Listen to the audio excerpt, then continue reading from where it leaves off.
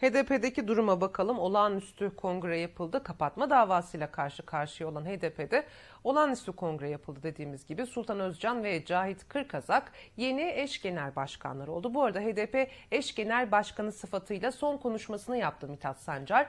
Mücadele tecrübemizi ve güçlerimizi Yeşil Sol Parti'ye yığacağız dedi. Yani Halkların Demokratik Partisi'nin eş genel başkanı olma görevi bize teklif edildiğinde bir onur müşahedesi olarak taşımayı, HDP'nin varlığını, varoluşunu, felsefesini korumaya, bize düşen payda büyük insanlık yürüyüşünün bir parçası olmaya e, sizlerin huzurunuzda söz veriyorum.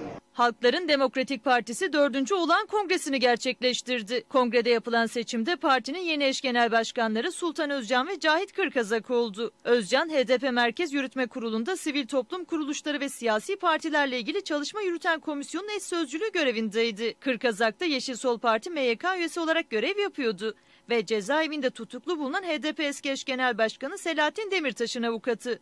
HDP her zaman bir fikriyattır, kapatılamaz dedik. HDP bir e, bina değil, bir kapı değil, bir masa değil, bir pencere değil dedik HDP'yi kuşatanlara.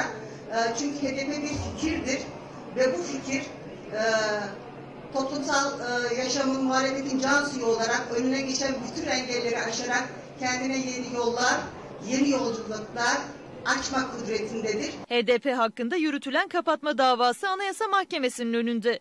Partinin tüm kurulları Gelecekan Yeşiller ve Sol Gelecek Partisi'ne taşınacak. Bu kongre başlattığımız sürecin finali değildir. Bu kongre başlattığımız muhasebe sürecinin duraklarından biridir.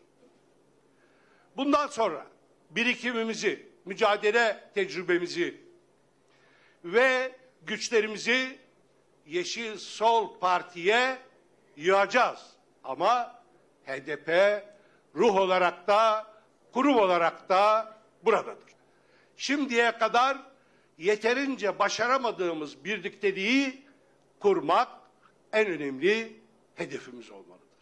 Hem Mithat Sancar hem de Pervin Buldan kongrede HDP eş genel başkanı ünvanıyla son konuşmalarını yaptı. Sancar seçimlerin ardından öz eleştiri sürecinin başladığını ifade ederken Buldan da mücadeleye devam mesajı verdi. Kürt sorunu, eşitlik sorunu, kayyum darbesi, yolsuzluk sorunu, gerçek demokrasi sorunu bu ülkenin başlıca sorunlarından en önemli meselelerdir sevgili arkadaşlarım. İşte Halkların Demokratik Partisi bunun için kurulmuş bir partidir. Bu nedenle onurlu barış mücadelemizden asla vazgeçmeyeceğiz. Yenilenmeye, yeniden daha güçlü bir mücadele hattı oluşturmaya mecburuz. Eksiklerimiz oldu.